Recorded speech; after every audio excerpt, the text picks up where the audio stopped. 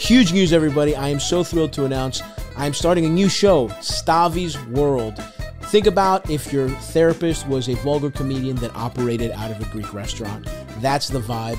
Every week, I bring on some of my funny friends. They tell us their problems, we get into their issues, and then together we solve your problems. You call in 904 800 STAV, leave a voicemail, and we will answer your questions every week. I'm so happy with it. Here's a little sneak peek from our first episode with my good friend Sam Morril. I haven't raw dogged in a while. Yeah. I don't do it as a single guy. Yeah. I can't roll the dice like that. Yeah, I, I, I wish I could say the same for myself there, Sam. sometimes, sometimes. Roach Dobby. Hey, man, I'm sober. What do you want from me? I got to roll the dice somehow. Sometimes you just get a little. That's a hilarious excuse for raw dogging a woman. I was sober and thinking clearly.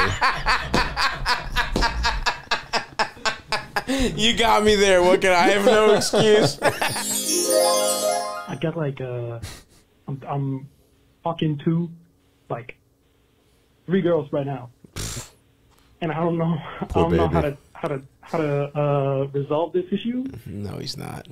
before it goes He's lying. badly. Uh, I'm gonna have is. to like pick one, I guess, but I have too much human emotion to turn people down. Oh my god. I mean, Pause this I'm- for a second before we listen to it. This guy fucking stinks. I got a problem too. I fucked a perfect 10 the other night. And she was like, Sam, you're the best. And I was like, Jesus. But I- Problems. yeah, it makes me so sad to accept compliments without giving them. Um, Basically, yeah. you fuck too much and you're upset I'm that, too that much- you have to choose one of the women you fuck too much. and you're going to hurt two other. I mean, Yeah, like, yeah. grow my, up. My cock is so good. I'm gonna I'm gonna deprive two women of it though when I choose one. And I have too much empathy. I'm a, too much of a human being. The you. I mean, This is like, there's not a line in this It isn't a brag. No, this yeah, everything about and and even his whole manner. And look, this is the first time this has ever happened to this guy. Right? That's what we're dealing with here. This is a mm. man that does not understand, has never gotten pussy at this level. You're hot right now. This is the best it's ever going to get. Don't think like this is going to be a problem forever for the rest of your life. This is the only time by in fact, he called what? A week ago? This is a situation already over.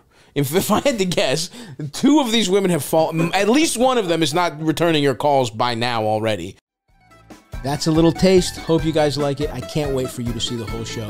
Subscribe now. The episodes are coming really soon.